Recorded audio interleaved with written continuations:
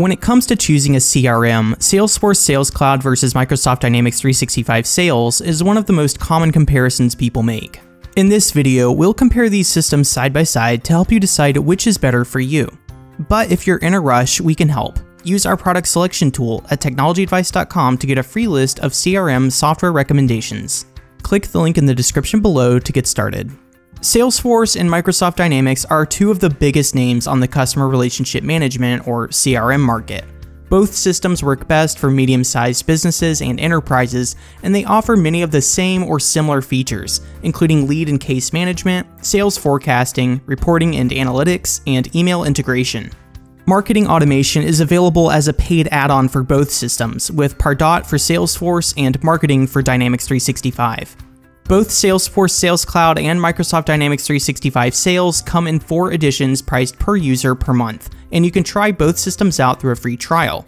Salesforce is a cloud based solution, but Microsoft Dynamics offers deployment options for on premise and cloud. Mobile applications for iOS and Android devices are available for both systems.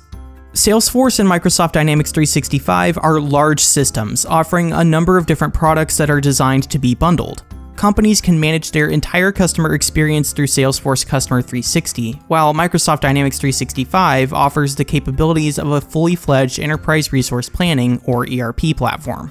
For Salesforce, you can choose Sales Cloud as the base of your bundle and then add more products to create a customized solution for your business. For example, if you own an e commerce business, you might want to bundle Salesforce Sales Cloud, Commerce, Service, and Marketing.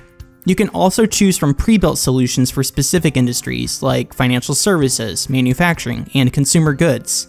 For Dynamics 365, you can build a custom bundle with Dynamics 365 Sales as your base. From there, you can add products like commerce, customer service, and marketing. The licensing structure for this system is a bit more complicated than what you'll encounter with Salesforce, so be sure to carefully consider all your options.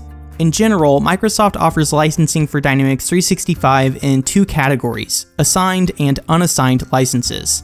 Licensing options can change year to year, so check the Dynamics 365 website to make sure you have the most up-to-date information when you're ready to buy.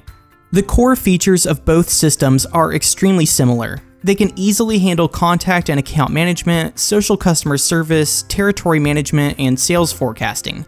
They also both offer their own app marketplaces, where you can choose from thousands of integrations to extend the functionality of your CRM.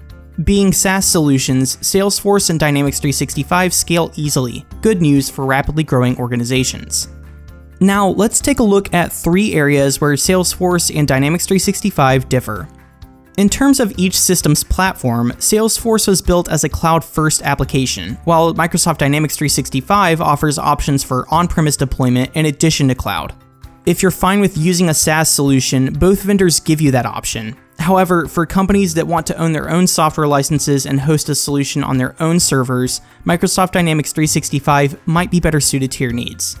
Usually, the general consensus is that Salesforce has an edge over Dynamics 365 when it comes to integrations. The Salesforce App Exchange supports integrations with over 2,600 third-party applications, but the Microsoft App Source isn't far behind. It's also important to consider that Dynamics 365 supports native integrations with a number of different Microsoft products, like Power BI and Power Apps in some licensing agreements.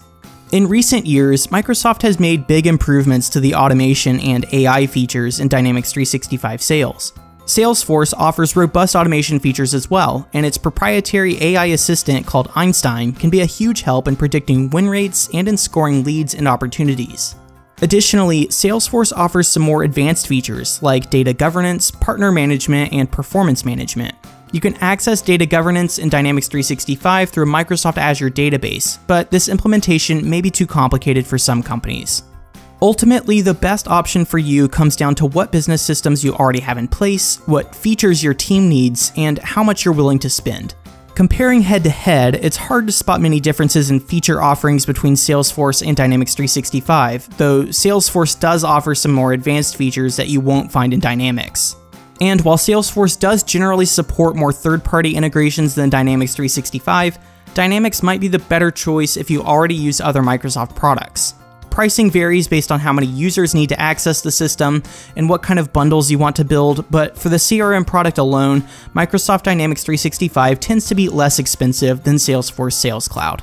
Still not sure if Salesforce or Microsoft Dynamics 365 Sales is right for you? Use our product selection tool at technologyadvice.com to get a free list of CRM software recommendations. Click the button on the left to get started.